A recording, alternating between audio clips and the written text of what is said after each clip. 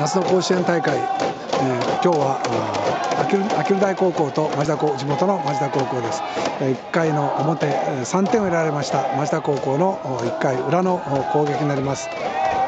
まだ応援席は今日夕暮れということありましてあまり多くありません、えー、この3点を先行されましたので町田高校ぜひ初番戦きちんとした立ち上がりを示してもらいたいと思います。今日は地元の町田高校が登場したここ同じ球場です。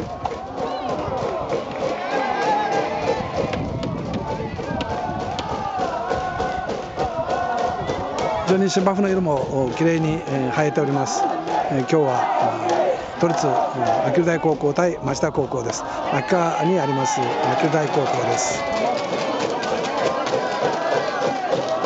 今は秋留の市ですね。そちらの高校です。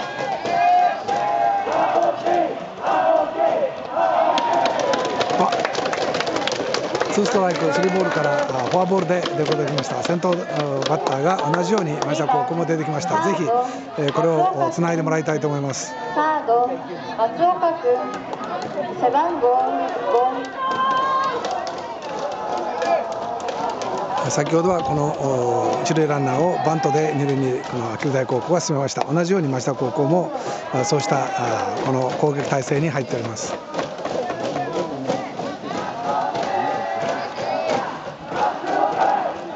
まずは1点ということだと思います。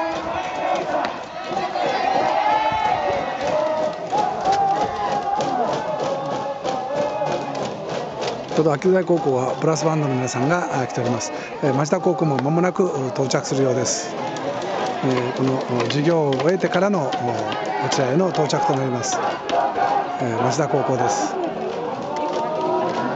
今スタンドでは野球部の皆さんが応援をしております。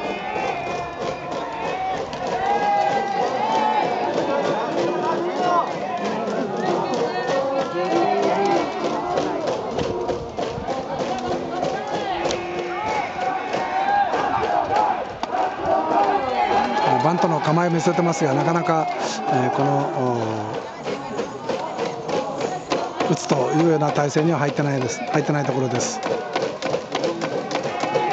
ワンストライクツーボールです。ヒッティングに構えました。吉田高校です。ワンスリーとなりました。さあここはどうするでしょうか。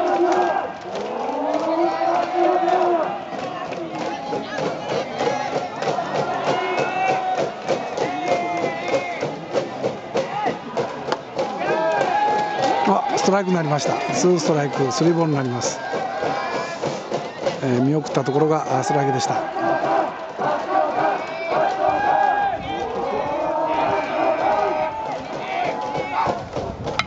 ヒッティング出ました。あ抜きました。一塁間を抜きました。今ライトゴロになったところです、えー、一塁ノーアウト一塁二塁となっております。町田高校です。チャンスが続きます。